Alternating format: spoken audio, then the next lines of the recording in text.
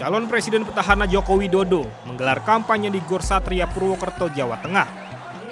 Sejumlah tokoh nasional seperti Puan Maharani, Erick Thohir, Sinta Nuriyah, hingga Ganjar Pranowo hadir dalam kampanye tersebut.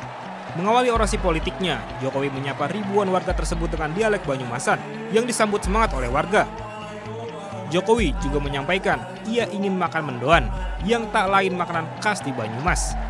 Jokowi juga menegaskan jika pada saat Pilpres 2014 lalu ia bersama Yusuf Kala menang di Banyumas dengan suara 60%. Kini ia ingin di wilayah yang dikenal sebagai kandang banteng tersebut pasangan Jokowi Maruf Amin menang sebanyak 80%. Kita di Banyumas menang 64%.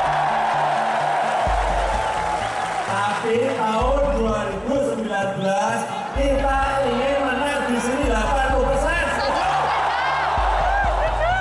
Kepada ribuan masa pendukung, ia juga meminta pada tanggal 17 April mendatang, teguhkan pilihan dan jangan terpengaruh dengan berita bohong atau fitnah yang mungkin beredar di tengah masyarakat. Bayu Nur Sasongko melaporkan untuk NET.